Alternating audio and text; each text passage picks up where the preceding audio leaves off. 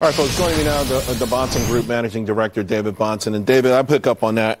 Uh, do you feel like maybe investors are getting in a little over their skis right now? I think it depends on what they're going back into. If people believe that all of a sudden the stuff that was down last year got cheap, then I think they're over their skis. It's cheaper, but I don't think it's cheap. And I think that if you're pulling, pulling back into the index, the growth indexes, the FANG names, um, look, some of them they're eating them up. Yeah, I mean, you know, it, well, and, and, at the expense of the ones that outperformed last year. Yeah, and even last year, you had ARK with positive returns in and the energy ETFs with outflows, and yet they were the hi- higher performer, which is not like retail investors that normally are piling into the winners, not right. the losers.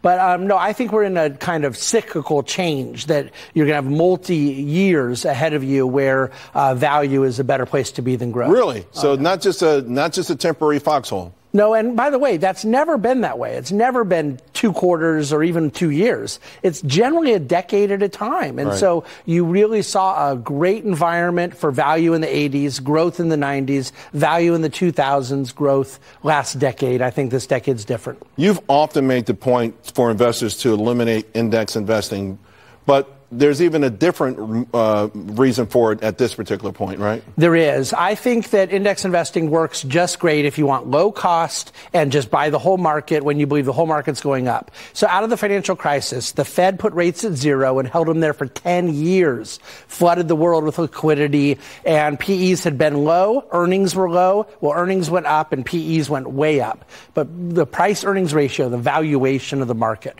that was 75% of the return that investors got.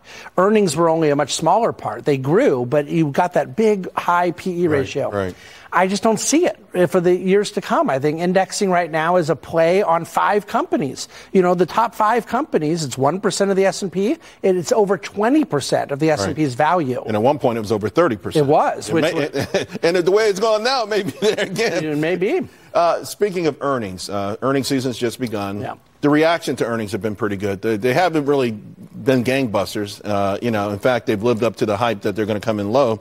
But you say don't watch the earnings guidance as much as we should be watching revenue guidance. Yeah, and the reason for that is you see a lot of companies that have declining earnings, but they're cutting cost. I mean, there's big job layoffs in technology, mm-hmm. and that's really a surprise. So, to me, revenue is what you can't really fake what's going on with the company. Ultimately, stock prices are always about earnings. But I'm saying for guidance right now, I'm looking to revenue because that's macroeconomic. Earnings can stay okay even when revenue's dropping if you cut costs. Yeah. Revenues you can't fake. And there's a lot of engineering too yeah, between yeah. the top line and that bottom line. But not with dividends. You can't engineer dividends. Johnson and Johnson, 3M they report, uh, I think, before the open tomorrow. That's right. Um, you, you're long nose. I'm trying to get a gauge for the viewers who want to be in something more conservative. Would this perhaps would they perhaps be a buy before the close today?